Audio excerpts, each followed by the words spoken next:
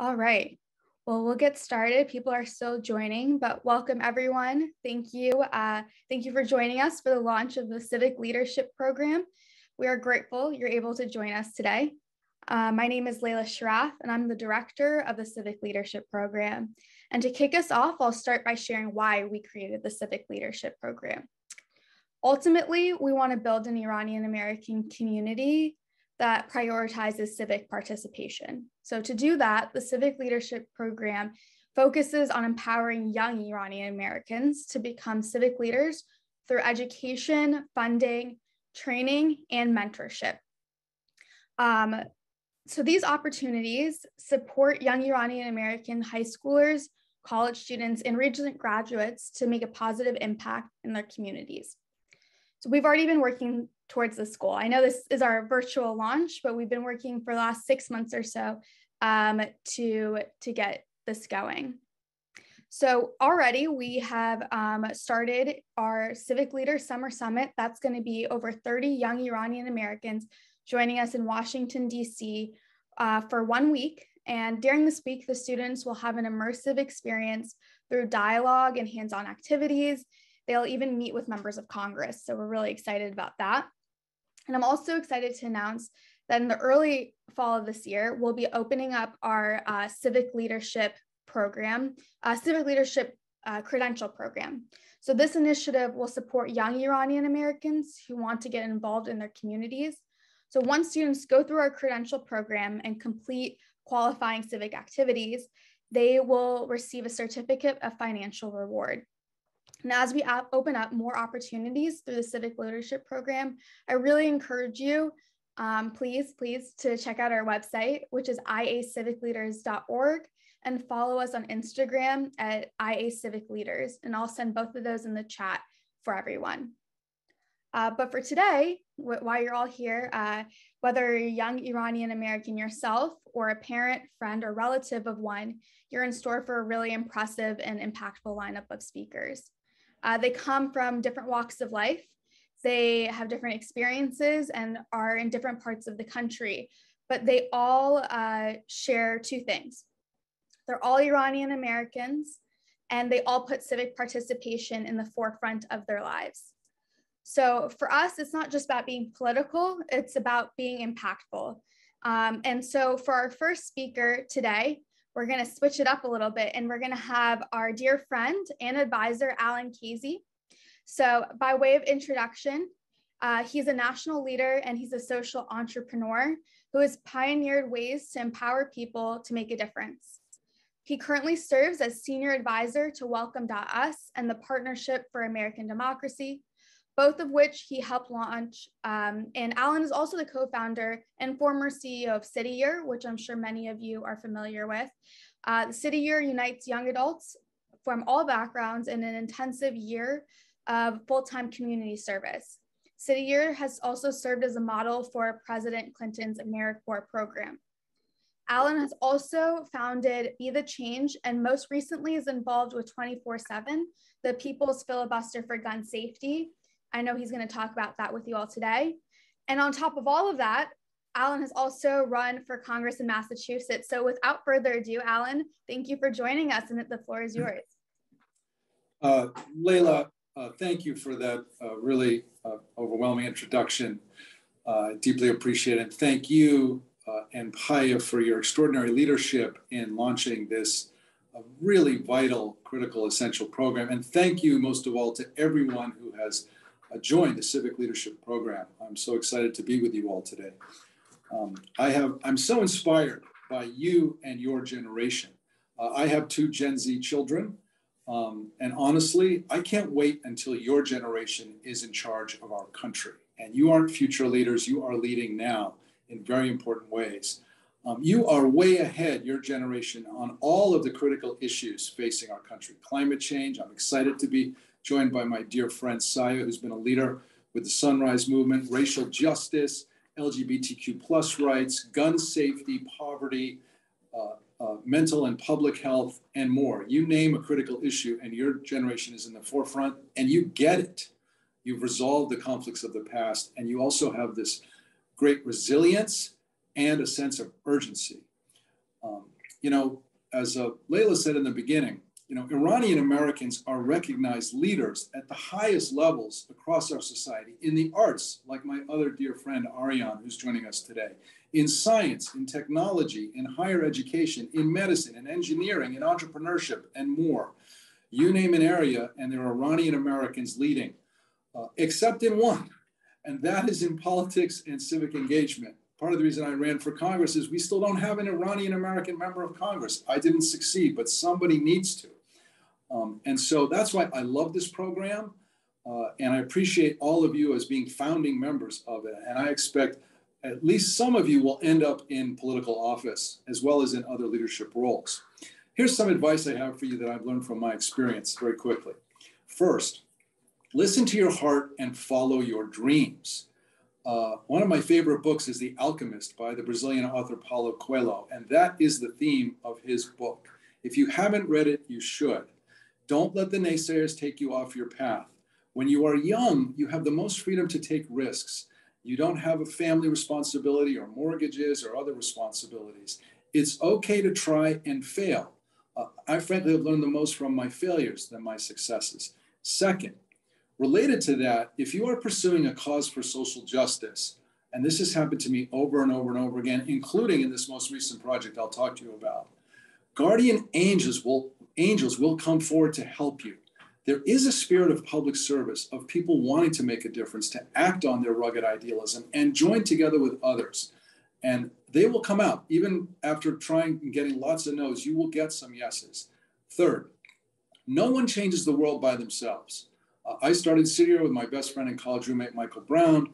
Uh, and so the other advice I give to people whenever they want to do something in social justice, I say find a partner and build a team.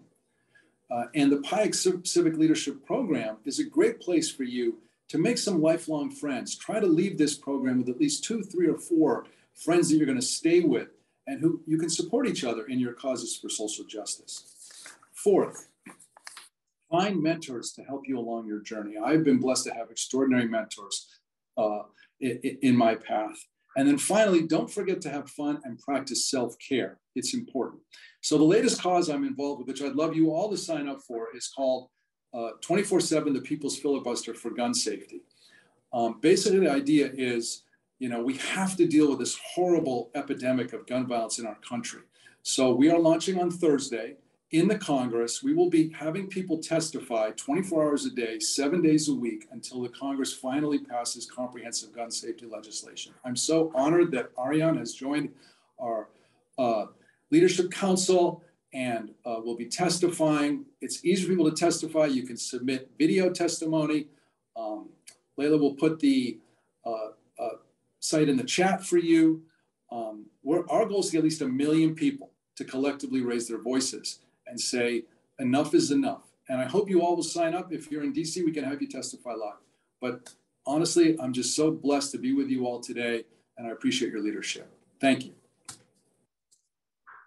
Thank you so much, Alan. It's a obviously more than timely uh, issue going on, and I guess unfortunately it's been a timely issue in the United States for a while. So thank you for your leadership on this and so many other things. Um, if anyone has any questions, we have a few minutes so we can ask a, a question or two from Alan. And I should remind everyone that for the rest of our speakers, we also do have some Q&A time built in.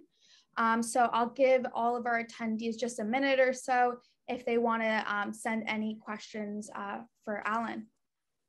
Please feel free to put in the Q&A. And Alan, as, as we wait um, for some more questions to come in.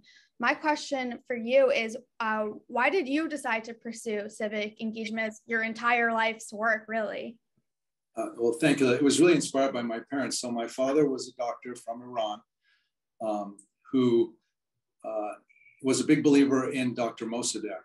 And when Mossadegh, my father actually was in medical school when he was overthrown, and he decided to come to America because it's a country of freedom and democracy. Uh, but he raised an interesting perspective. He said, Alan, and he felt like it was the one country that would welcome him as a foreigner more than any other. And he said, you know, uh, this is a great country because it did welcome me and others, but also it's a great country because of its ideals. And when we go against our ideals, like overthrowing Mossadegh and supporting other dictators around the world, uh, we run away from the values of our country, and it always leads to trouble, as it has. And so he said, Love this country enough to fight for its ideals. Um, my mother was Italian. She loved everyone she taught me the most important thing I've ever learned, which is every single person has a gift to give. And the way you bring that out is by loving them. And it was really uh, my parents' example that inspired me to start City It's really because of them that I do the work I do. And they made tons of sacrifices for me to go to great schools and have great opportunities. Thank you, Alan. And we, we do have a question uh, for you that just came in, and that is why do you think Iranians are not involved in politics? I know there's probably a lot of uh, answers to that, but what are your thoughts? Yeah, I think well, I'm so glad you guys have signed up. I think it's because of our complicated history. Frankly, going back to the overthrow of Mossadegh and then the most recent revolution. And I think, you know, because of the current regime in Iran, people feel threatened, even who live here. Um, they have family back home. Uh, and I think also because, you know, Iranians are very humble.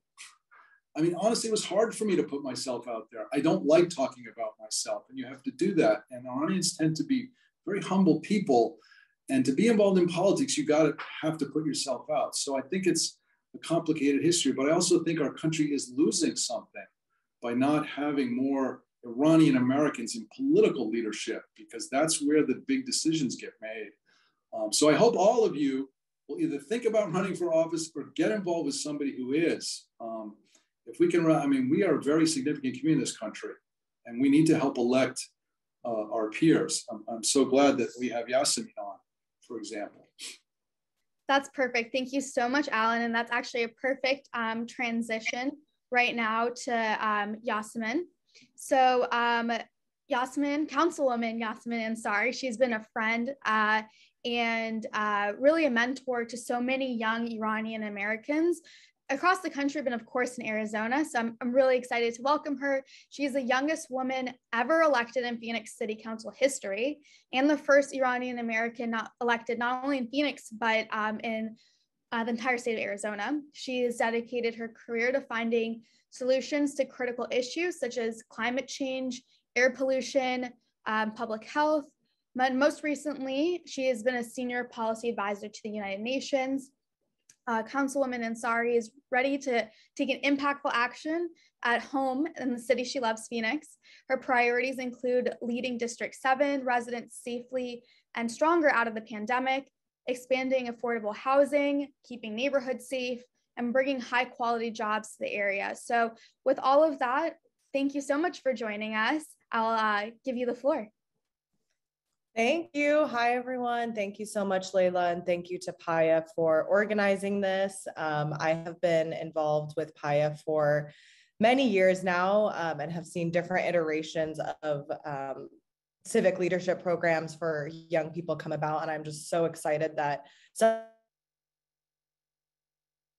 I really think that there is definitely um, in in my generation and the younger generations a strong appetite and excitement about getting involved with civic engagement and politics. Um, I guess a little bit more about me. So um, I am the daughter of two Iranian immigrants. Um, I grew up in Arizona. Was born in Seattle, and I think.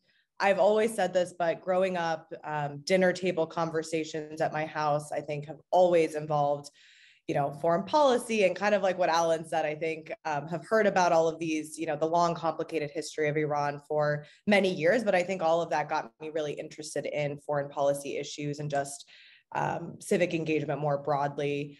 Um, i first got inspired to um, work in in this field when i was a junior in high school. I was um, 16 when uh, former President Obama ran against John McCain for president. And that's the first time I ever started getting involved, volunteering with the Arizona Democratic Party and, you know, uh, calling volunteers and getting people amped up. And I remember that that is really just what got me um, inspired to keep going. Um, and during undergrad, um, I studied at Stanford. I studied international relations, um, studied Arabic, lived abroad in the Middle East, and really wanted to continue working down that path. But long chain of events and, and a fellowship in public service led me to work at the United Nations on climate issues. Um, and then eventually decided to run for office. But I would say the impetus of one of the main reasons I decided to run for office um, was a frustration in wanting more representation. I think, like many people um, on this call, when you know Donald Trump was running for president and became elected, and and things like the Muslim ban were so outrageous and so frustrating, and and it was hard not to feel powerless. And I think it was really a wake up call for me that um, representation really matters. And, you know, as Alan said, while we are a very successful diaspora in so many fields from uh, medicine to law to engineering and computer science, of course, we know in tech, Iranians are everywhere. I believe that none of that matters as much unless we have more political power and unless when our rights are being attacked or when our family members' rights are being attacked, if we can't make a an impact there if we don't have any power to change things then then we haven't done our jobs yet as a diaspora so i've always been very passionate about trying to get more um, iranian americans involved in public service and that can take many different forms whether that's running for office um, but also getting involved in campaigns working in the realm of politics but also giving in politics i think we have a lot of work to do as a community to be a little bit more organized when it comes to supporting candidates running for office. Um, there are there are diasporas that you know when there's somebody running for office there's a list of 200 people that are ready to give you know max amounts and i think that we have a lot of potential given that we are such a successful community to be a lot more politically powerful in that way if we can be a little bit more organized and i know that this program is going to go a long way in that um, that being said, you know, when I decided to run, I, I'm very grateful. I had a lot of support. I, the first people I called um, were a lot of the folks I knew through PAAIA and the Iranian American community. Um, I started running in uh, October of 2019 um, for for City Council in Phoenix, and um, I was elected March of last year. So it was a year and a half long campaign. Um, I was first on the November 2020 ballot, and I ran on um, uh, it's a technically a nonpartisan race, but I definitely ran on a very progressive platform. Um, coming from my background working on climate issues at the United Nations, I really talked about combating air pollution, um, sustainable transportation, uh, affordable housing, combating homelessness, and then coming out of um, the pandemic and a lot of uh, COVID relief. So, um, very proud to be the first Iranian American elected to public office in the state of Arizona. I represent about 220 some thousand people on the Phoenix City Council. And for those who don't know um, what we do on the City Council, because a lot of people always ask me that, um, myself and my seven colleagues on the council, as well as the mayor, so nine of us, essentially make decisions um, on how to spend uh, the city's budget. And as the fifth largest, fastest growing city in the United States, you know, we deal with everything from public safety to homelessness to housing to, you know, development issues um, and transportation. So it is, um, can be very stressful, really fun uh, times, but definitely really challenging. And um, I'm just, you know, again, very grateful to have everyone's support here and really hope that more young people get involved. And I will say, I actually have an Iranian intern right now, half Iranian, half Colombian. Um, he's awesome. He just uh, finished his first year at Columbia and uh, he just was messaging me relentlessly and was very persistent. And we brought him on board. And um, I think it's great, just great to see so many more Iranians getting involved. Thank you so much, Councilwoman. I we appreciate your thoughts. We got a bunch of questions coming in for you. So uh, for the next few minutes, we'll just uh, channel some of them. So the first one is, how do you think you can help the Iranian community in the US? And you kind of spoke to it even with your uh, intern.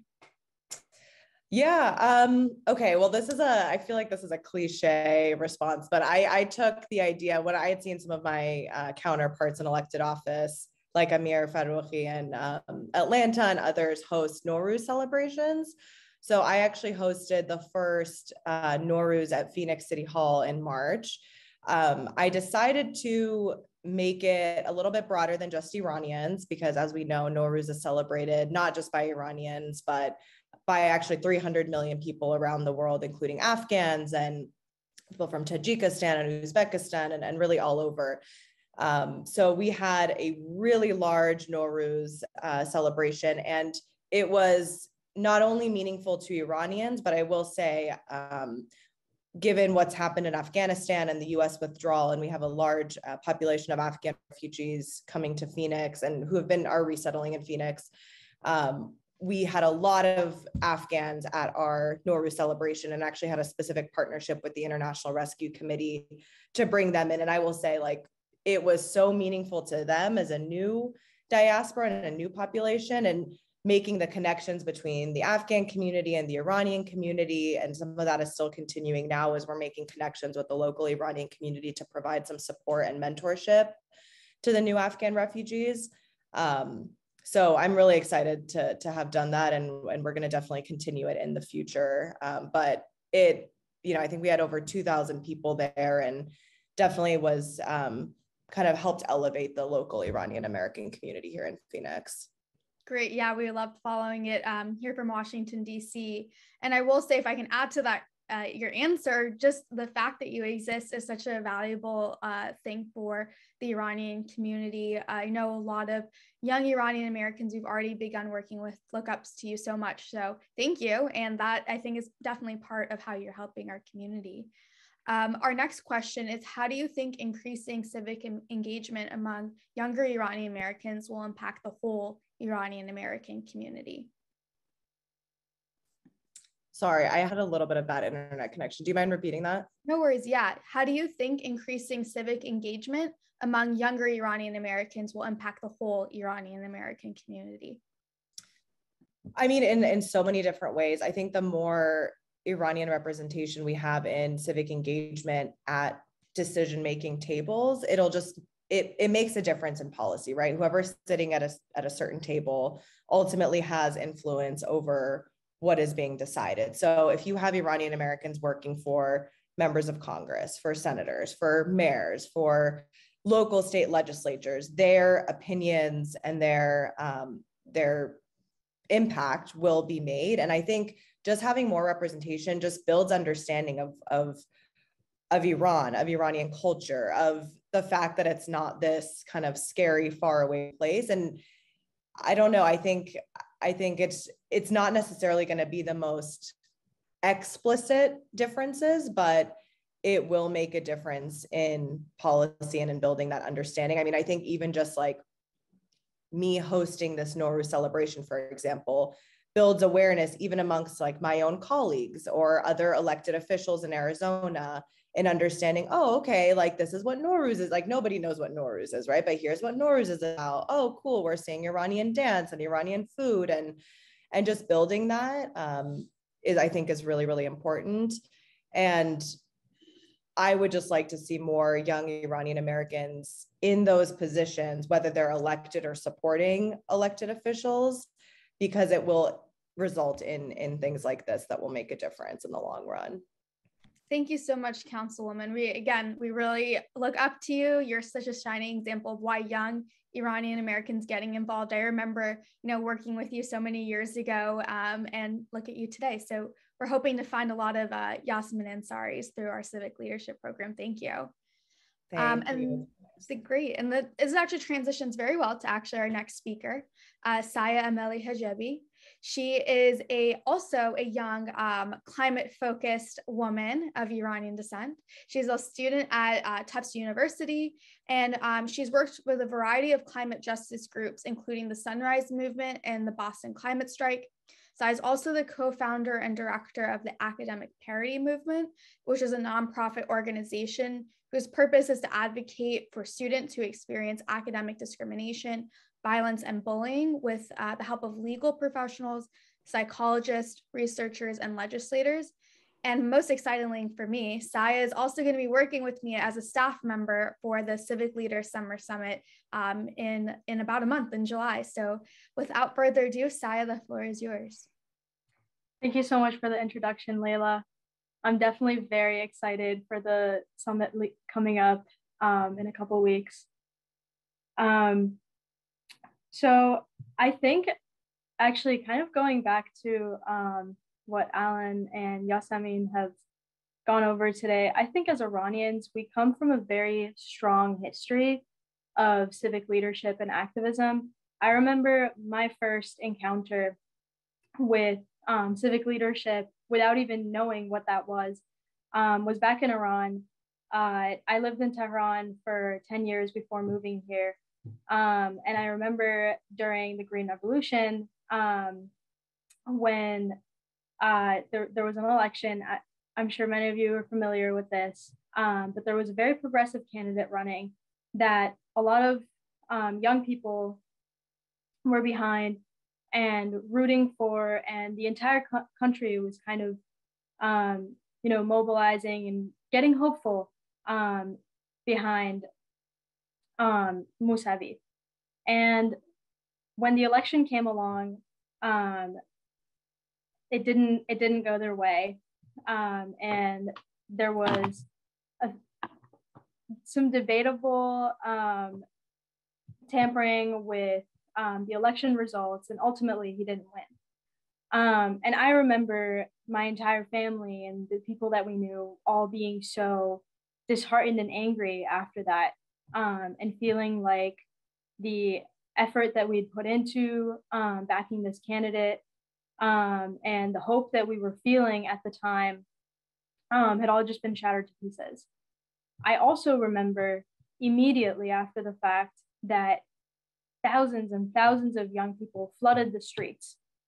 Um, now in Iran, that comes at a different cost than it does here. Um, the government had massive backlash, sent people to prison, people went missing. Um, there was a lot of violence in the streets. Um, and but even though these young people knew that that was that was what they were signing up for when they went out to protest um, the rigged election, they did it anyway because it's what they believed in. Um, and so coming to the US um, and seeing that we can kind of pursue activism here as well, um, but perhaps not go to prison, um, was was really powerful for me. Um, in Tehran, I never had to read the air pollution report to know that the air quality was bad because my brother would already be coughing in the next room.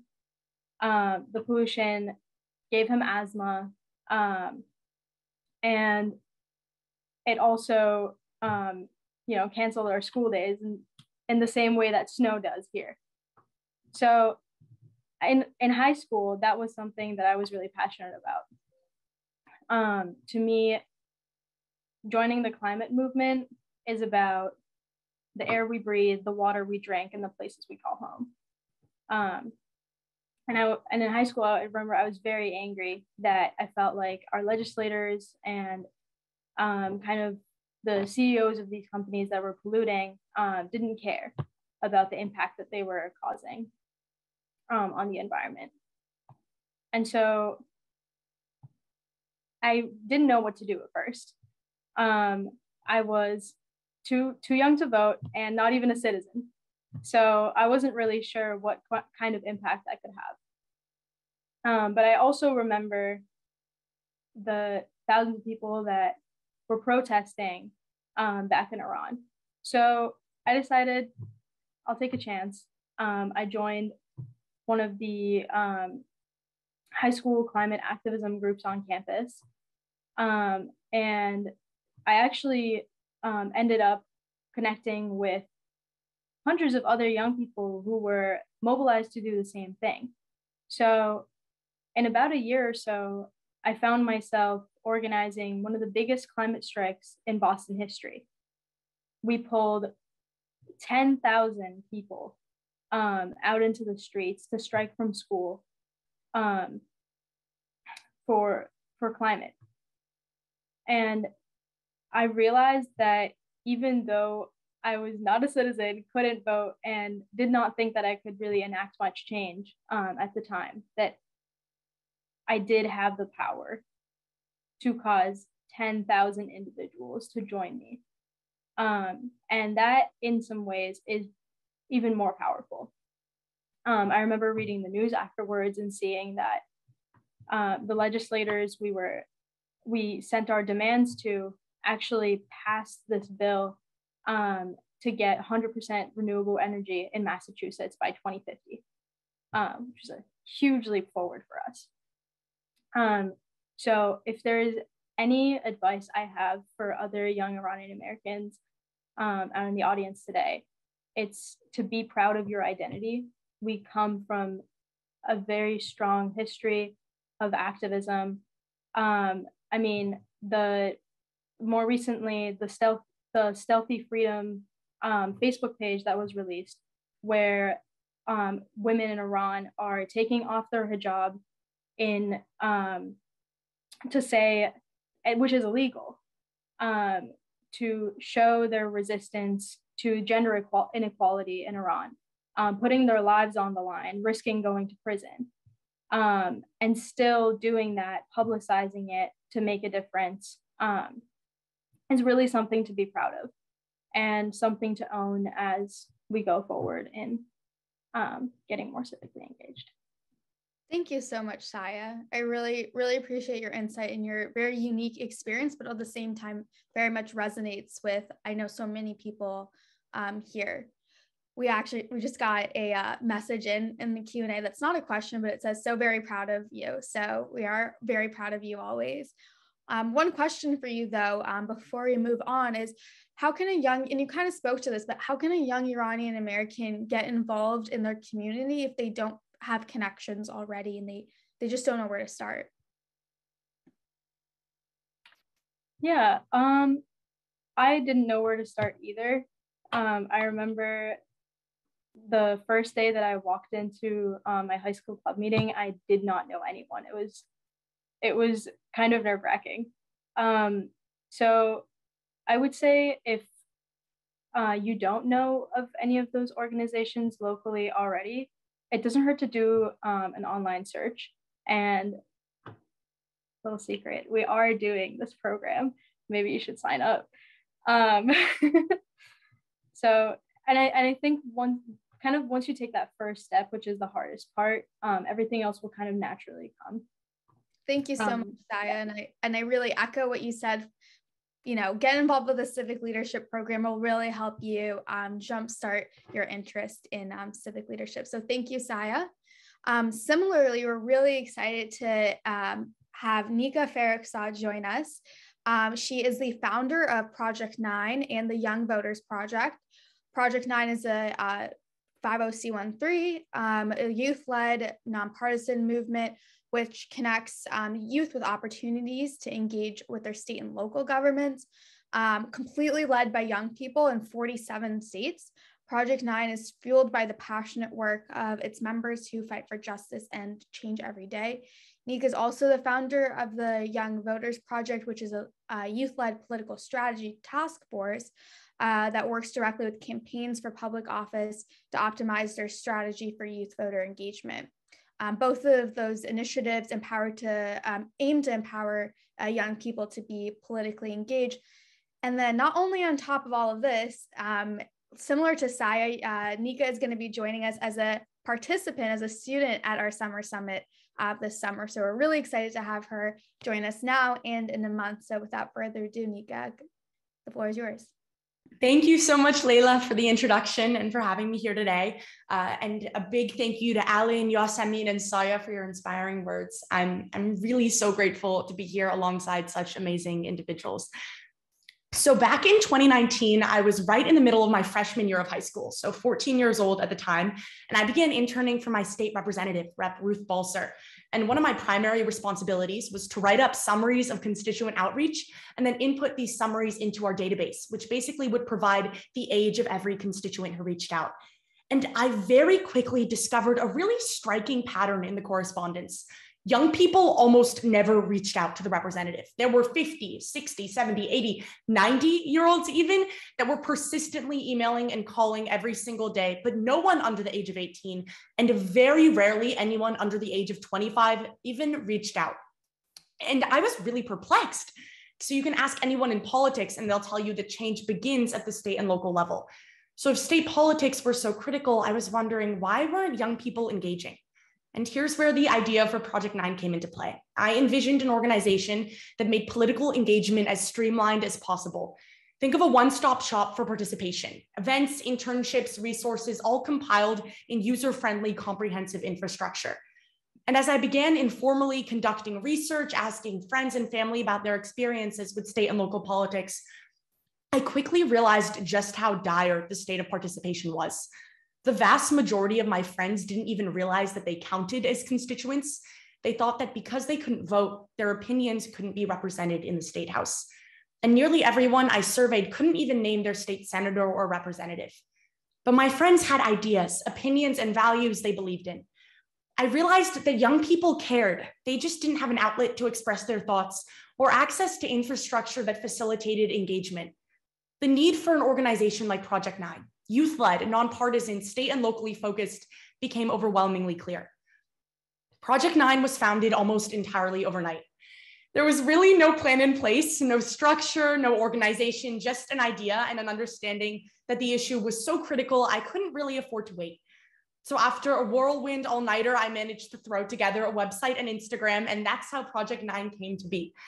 Within three months, we'd grown to an organization with members in over 20 states. And by the one year mark, we were at 47. I viewed the lack of youth political engagement, specifically with state and local issues, as being a multifaceted problem, but one that stems largely from a lack of accessibility and simplicity. My aim with Project Nine was and always is to streamline the process of engagement to not only make politics accessible, but to incentivize participation, to empower young people to truly believe they have a voice. Now, three years later, those fundamental principles still course through Project Nine's veins, providing the foundation for our advocacy. In 2022, we're a fiscally sponsored 501c3 that connects youth with opportunities to engage politically at the state and local levels, we're partnered with a multitude of groundbreaking organizations like the American Youth Policy Forum, the National Women's Political Caucus, and the Girls Opportunity Alliance at the Obama Foundation. We offer independently curated opportunities in conjunction with the programs offered by our partners, including lobby days for critical climate legislation, consulting for local campaigns for public office, advocacy workshops, and more. Above all, we strive to create a community of young people who are invigorated and united by their shared pursuit of meaningful change. The youth voice is central to our work. And more broadly, I'd argue that everything we do as a society, whether locally, nationally, or globally, all organizing and politics should be grounded in the voice of young people. Youth experience the world differently than older generations, and this intergenerational diversity of perspective should be celebrated and embraced. Give young people a seat at the table, respect and value their contributions, and really value it. Don't performatively bring them into positions of leadership. Take their opinions, thoughts, and concerns seriously. We are so much more productive when we play on the same team, when we put our heads together and organize communally. Our globe's problems have become so deeply rooted, so interconnected, and so systemic that solving these pervasive issues requires so much more than just one generation it really is all hands on deck at this point. Youth civic engagement has never been as necessary as it is today. I'm so excited by the launch of PAAIA's Civic Leadership Program. The next generation of Iranian Americans is really so incredibly lucky to be, to be growing up with access to such an essential resource. Thank you, Layla, PAAIA, and everyone who made this program possible. You are, you are genuinely really changing lives. Together, let's empower our youth to relentlessly advocate for justice and change one day at a time. Thank you so much, Nika. We are so grateful to have you, and um, many of you know this, but if you don't, Nika has been so helpful in um, starting this program, and we're really, again, excited to have her join us uh, for the summer summit. Um, so thank you so much, Nika. You're just always a very clear example of what um, we hope our community can bring forward. So thank you. Um, in the interest of time, we're going to move to our next speaker, our final speaker, actor and activist Arian Moayed. Um, not only is he Iranian born, but he's the co founder of Waterwell, a civically minded and socially conscious nonprofit art and education company.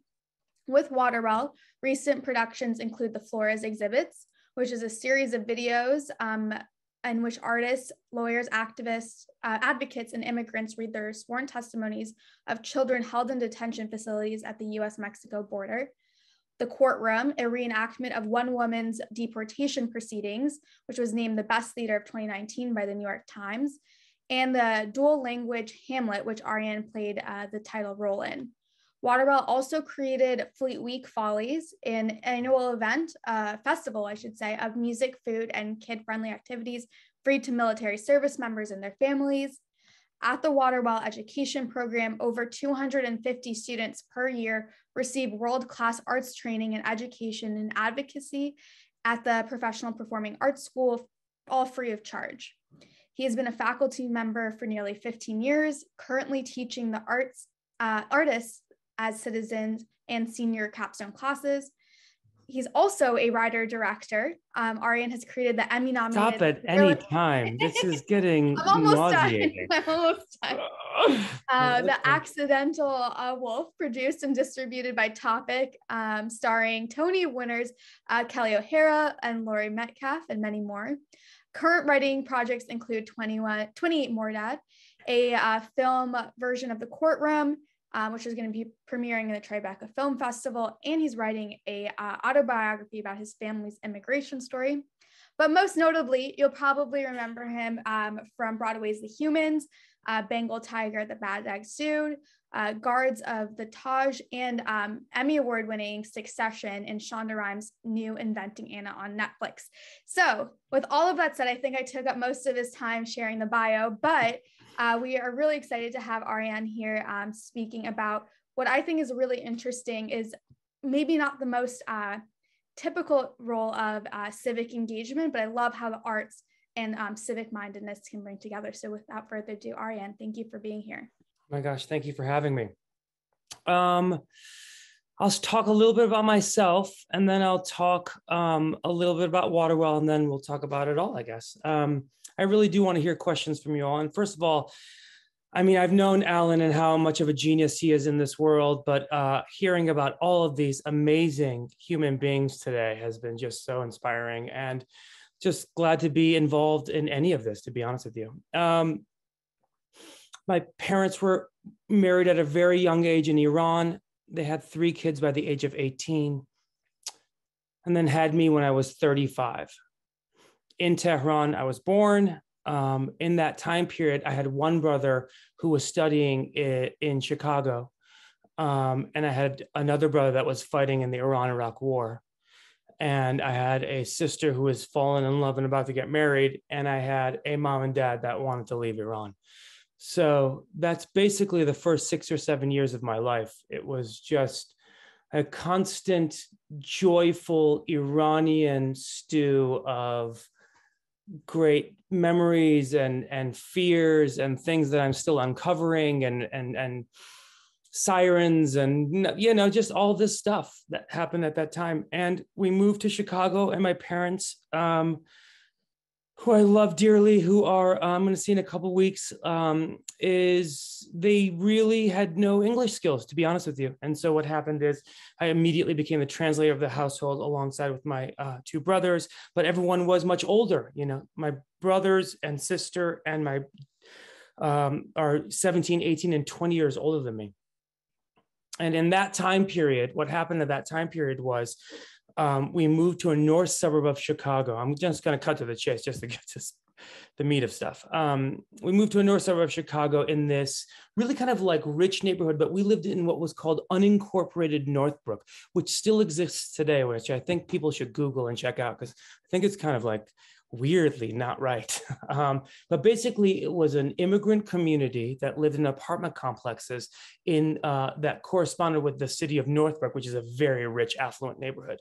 Um, and in this neighborhood that we were in, there were mostly Korean, Black, Hispanic, everyone was there. Anyone that was an other in this community in Northbrook was basically living there and a lot of immigrants. And, and I bring all this up because I noticed that even in those circumstances, and we had not many means, to be honest with you as well, um,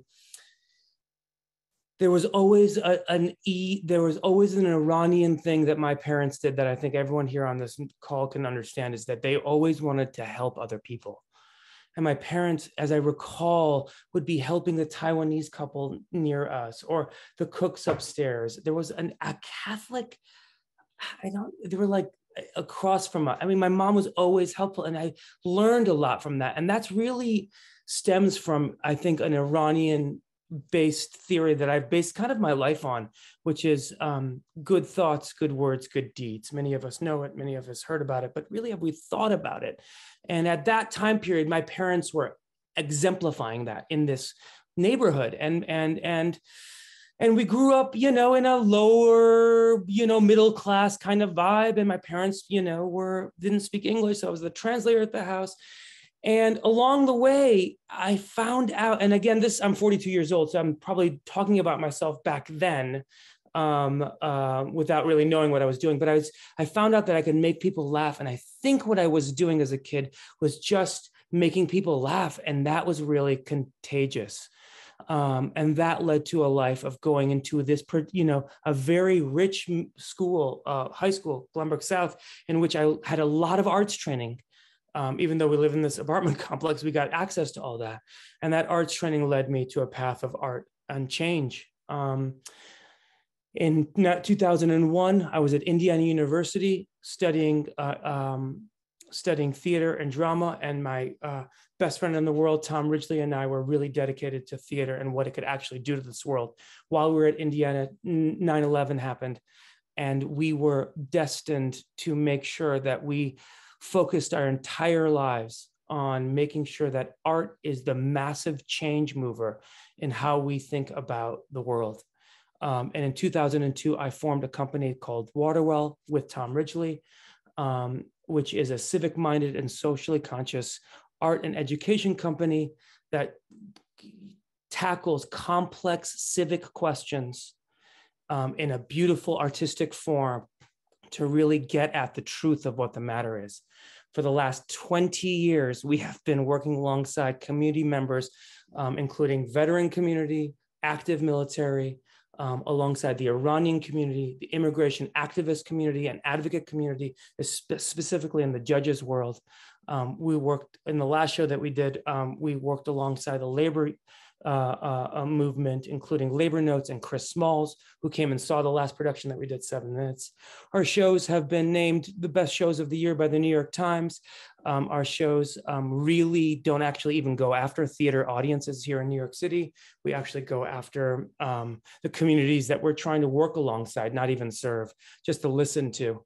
And that work has really stemmed into um, so much of what I believe history has bent towards us. And I'm really happy about that, though the first 10 years was really hard to try to tell the world that what we were doing was going to actually matter. Um, again, a lot of that is from good thoughts, good words, good deeds, a lot of that from the theater world.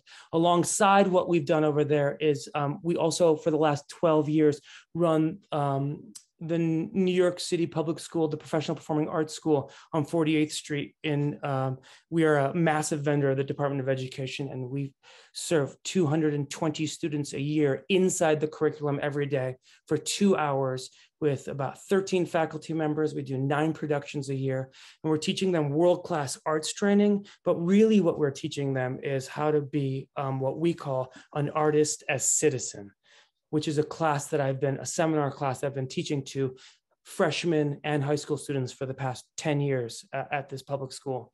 Still to this day, um, I also teach the seniors a monologue class. Some of our seniors are going to be, you know, the leads of new Marvel series and have won Emmys. Some of them are working at the Mayor's Office of Environmental Affairs. Um, I'm also an actor. along the way. I have, and since 2005, because of a Waterwell show called The Persians, a comedy about war with five songs, in which we invited every Thursday and Friday night every Iranian in the tri-state region, and they would come, in which we would tell the, we teach the audience members how to do Persian swears, and we had these amazing conversations afterwards. But it's the Persians is an Aeschylus play and just to give you an idea of how deep we try to get with it, but it's an Aeschylus play. Aeschylus um, fought in the Persian Grecan War, beat them and then wrote a sympathetic play about Persians losing. And it's the oldest English play. And we took that and we and we did it at this kind of shitty off-Broadway theater, off, off, off, off, off Broadway theater. And then somehow or another we moved it and people came. And then I got signed by a really major agency at the age of 25 in 2005. And I went into those meetings and I said that I won't play terrorists and I won't play victims because my parents and myself really traveled a long way to get here. And at that time period, those amazing agents really kind of didn't balk at it, to be honest with you. I mean, I just didn't work. I just kept on doing theater, theater, theater along the way. I did this amazing, Waterwell was doing shows and those were picking up steam. And along the way, I did this show called The Bengal Tiger at the Baghdad Zoo. It moved to Broadway. I was nominated for a Tony Award, the first Iranian American to be nominated. And then uh, after that, that led to more theater pr- productions, including The Humans, which won the Best Tony Award in 2016. The people from Succession saw me in that. They cast me. Um, we built this character of Stewy Hosseini together. Shonda Rhimes loves Stewy Hosseini. that led to me being in Inventing Anna, and now I'm in Marvel. Okay, ask questions. Thank you. I didn't know how to like yeah. sum up the acting career, so I just went like bullet points. I was like, here we go. Well, I'll also add that Shonda Rhimes isn't the only one who loves Stewy. Sue is my one of my favorite characters oh. in uh-huh. Succession too. So I guess Shonda Rhimes and I are very similar, is what I'm saying. Yeah, you guys are basically besties. Yes, exactly. So I actually our first question is that is a perfect transition, and you can see all of our speakers here today represent our community so well, but in so many different ways. So, why is it important to you? Um, Iranian American representation in the arts and more broadly in our society? You know, you know what's really, I'll tell you, can I tell, can I answer that with a story? I'm going to answer that with in in two. We were so when we were doing the Persians, that play I was I was talking to you about, talking to the group about when we were doing that show, we were so anti-war. I mean, that war was absurd, and we knew it was absurd, and we were 25, and we were like, "F you to that war." But as we were playing this, doing, but we never in the in the show, we never once talked about like how we hated that war. We didn't have to. The play actually commented on that. And then while we were doing this anti-war play, we started reading in the newspapers that veterans were coming back in massive in massive um, with massive PTSD and dying. And then and then Tom and I really really i think the number was 27 suicides a day. And then all of a sudden tom and i for some odd reason dove deep in who the demographic of veterans are. And as an iranian immigrant that came to this country as many iranians here um, and thankful for the opportunities that this country has given me i started realizing that the majority of the people that are in the military are black and brown and poor. Um, those are one of the three qualities. Um, and so we wrote a we wrote a we wrote a grant application to the National Endowment of the Arts at the age of 25 to say, can we make all of our shows free for veterans um, from the Iran uh, from the Iraq and Afghanistan wars? And the N- National Endowment for the Arts said yes. And for 15 years now, I've had this really crazy relationship, beautiful relationship with act with active duty and and veterans and veteran family members that have come back from the war as an Iranian immigrant. Much, so much conflict in that scenario. And um, along the way, I've made some amazing friends there. And and and if an Iranian immigrant and uh, an Iraqi veteran Iraqis who killed, you know, remember the Iraqi Iran war, my family is so deeply a part of them. My, my first cousin died in the hands of Iraqis. Um, if an Iraqi, you know, one that fought in that war, a veteran there, and an Iranian immigrant like can hang out in the same room, try to make some connections, have disagreements, have similarities. I really do think that's an example that Iranians, like everyone here, is what they're doing. They are showing by action. And I think that action is the better way to kind of make actual substantive change into how people view Iranians in this world. Thank you. Yeah. I mean, there's every day there's more and more um, division. So it's important that representation can help bridge that. And for you, also, another question that came in is why do you think it's important for specifically young Iranian Americans um, to get involved? I don't know who it was that said it, but I think we all feel it. I think we all kind of said it, but Iranians have so much to give. They have so much good thoughts, good words, and good deeds to give out to the world. And I think for us to be engaged in our communities is really the only way that we can not only change how people think about us, but uh, how I think the good thoughts, good words, good deeds can actually change people's lives. I genuinely believe, you know, someone in, in college at Indiana University of all places said the only things that we remember from history is wars and art. And if you start thinking about it, it's kind of true. And so, as artists, instead of thinking about trying to be famous or trying to be on TV and all that, which, to be honest, I I, I I had aspirations, of course, but it was so unlikely because there was nobody that looked like me when I was. Who was my example? And I'm saying no to terrorists. So in that way, I never even thought that would be possible, even though it kind of ended up happening. All this to say is that like we have the we are the ones that can actually substantively change how we think about the world and how we change people's lives through art um, and and i think if you think about the ways that you think about um, things that you don't know about it's somehow related to art somehow or another and if those pieces stop being you know less stereotypical and more kind of human and what we can give to the world i think we can actually actually make change Thank you so much, Arian. I really appreciate your time. I know I can speak on behalf of all of our attendees and PAAIA and the Civic Leadership Program. Thank you so much with your work for Waterwell, for your time today, and just representing our community um, so positively. So thank you very much. Um, and thank you everybody for joining us today as our time wraps up. I think it's really important for us to take away that civic participation can look like a lot of things. You've seen a lot of examples firsthand in the past hour, but civic participation can really be anything from your local park cleanup or getting involved with clubs like Saya was talking about, or um, even activism through the arts and starting your own nonprofit or even running for office one day like some of our speakers have. The Civic Leadership Program is here to help you uh, get involved in whatever way you want.